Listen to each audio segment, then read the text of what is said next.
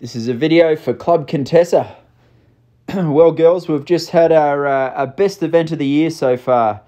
We took Contessa all the way back to Aiken to do the four-star short uh, this weekend, which is her final run before the Kentucky five-star. And uh, sadly, they sort of changed the calendar, the eventing calendar around, which sort of forced us to ship her all the way back south to uh, to compete at um, Stableview. We sort of ideally you'd love to run the horses either three or four weeks before their five stars. So our, our two options was Sarasota in Florida, which was last week at Terra Nova, or, or this week uh, in uh, in South Carolina, Stableview, and uh, it was a good track. Um, Steph took her down there a day early, um, and she arrived and had one rest day of just hacking with Steph, and then I arrived on Thursday afternoon and I did a dressage ride and she put in a great dressage test. She scored a, a 30, which was uh, starting to get very, very competitive.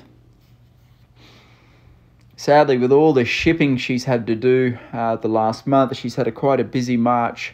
Uh, she's lost a little bit of weight, but we're doing everything you can imagine to uh, to keep her to keep as much feed into her as possible. She she tends to go a little bit off her grain. Um, with the, the travelling and the, all the fitness work and uh, by saying that she gets about six small meals a day.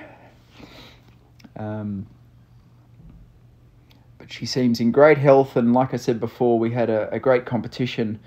Obviously this was the dressage on uh, Friday morning uh, she scored a 30 um, again the uh, the flying changes are still a little bit dodgy but by saying that, we've been working very, very hard on the five star test at home, and that where the the flying changes are positioned for that dressage test, they're actually uh, Contessa finds them a little bit easier. So that's uh, one added bonus for heading to Kentucky, and then. Uh, this weekend, she uh, she show jumped typically incredibly.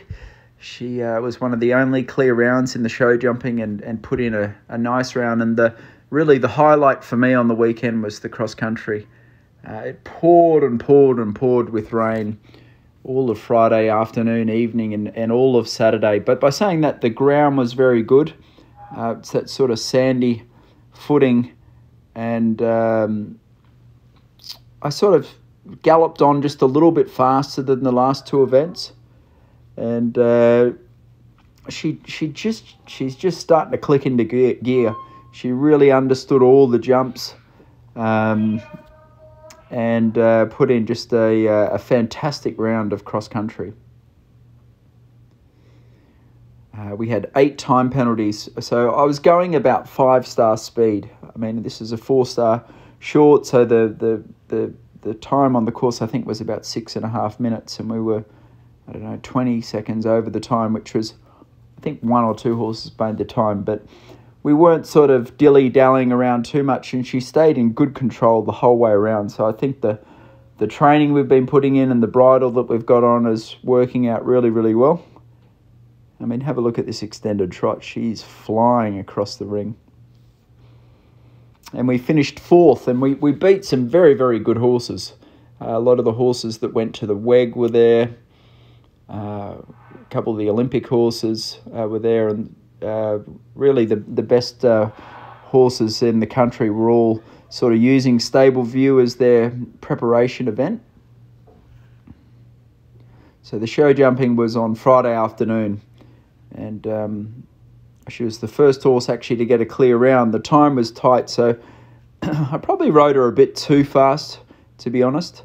Um, my coach Peter Wylde was there instructing me not to dilly dally around. And the great thing with Contessa, she's so careful and sharp and um, wants to jump clear that you can sort of go a little bit faster than some of the, the other horses that you have to set up a little bit more.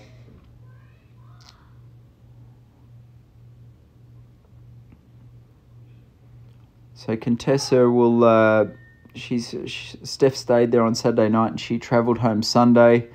Uh, we'll, we'll take her to the vets and get her to have a little look over on Monday, maybe a bit of a tune up there, and uh, and then we've got let's see two weeks before Kentucky Five Star. So we've got Eric Devander here training us this week. I'm flying up um, a dressage judge, Peter uh, Gray, next week to run through this five star test, and then uh, Peter Wylde will give us a, a jump school just before we leave for Kentucky. So, and I think I'll probably just gallop her twice. Um, she's very, very fit, and um, I think we've got her well prepared. So, anyway, not long to go now, guys, and uh, I'm uh, quietly confident